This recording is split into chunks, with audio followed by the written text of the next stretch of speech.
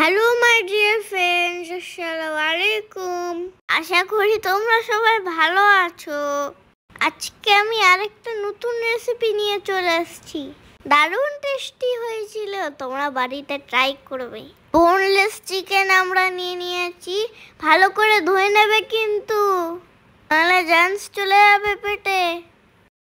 এই চিকেনটাকে মশলা দিয়ে ম্যারিনেট করতে হবে। মশলা কি কি না তোমরা দেখে নেবে প্লিজ এত তো রান্না বান্না আমি জানি না। তাই তোমরা একটু কষ্ট করে পড়ে নিও। এবার আমরা নিয়ে নেব জিঞ্জার গার্লিক পেস্ট। সমস্ত মশলা চিকেনে দিয়ে দেবে। একটু লাগবে দই। টক দই কিন্তু মিষ্টি দই না। যে যেমন নুন পছন্দ করো, তেমনি দিয়ে দিবে। সব কিছু মিক্স করে নেবে।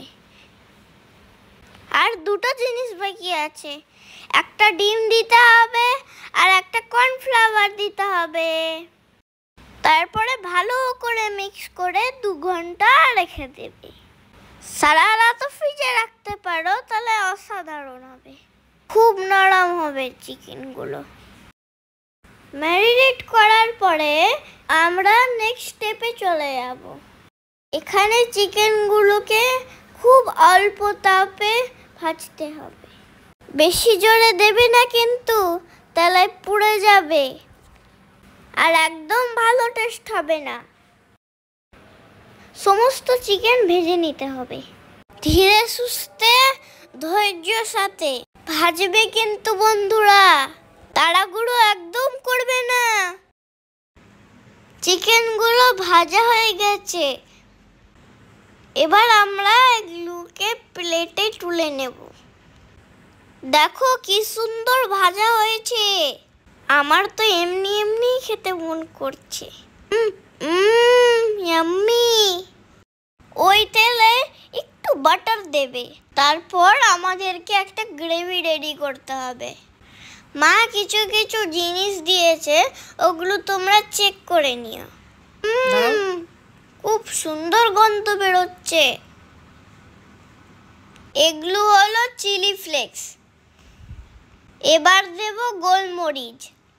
আর এটা হলো আমার ফেভারিট ক্রিম তারপর একটু চিজ দিতে হবে। তাহলেই আমাদের ইয়াম্মি চিজি গ্রেভিটা রেডি হয়ে যাবে। বন্ধুরা। দেখো এটা একটু টেন মিনিট ধরে কুক করতে হবে বন্ধুরা। তার মধ্যে চিকেনটা দিয়ে পাঁচ মিনিট ভেজে রাখতে হবে। আমার তো দেখেই মনে হচ্ছে সব খেয়ে গপ গপ করে।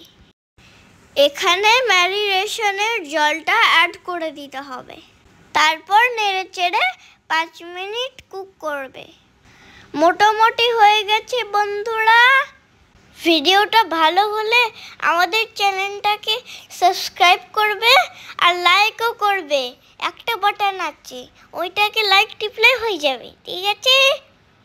আমার মাম্মা কত কষ্ট করে রান্না করছে, তোমরাও একটা সাবস্ক্রাইব দিয়ে দাও। আর তাহলে বন্ধুরা, একটা লাইকও দিয়ে দাও, তাহলে আমি অনেক খুশি হব। এই রেসিপিটা ট্রাই করো, আর আমাদেরকে কমেন্ট করে জানিও। আবার নিয়ে আসব নতুন রেসিপি ততক্ষণ বাই বাই ভালো থেকো সবাই।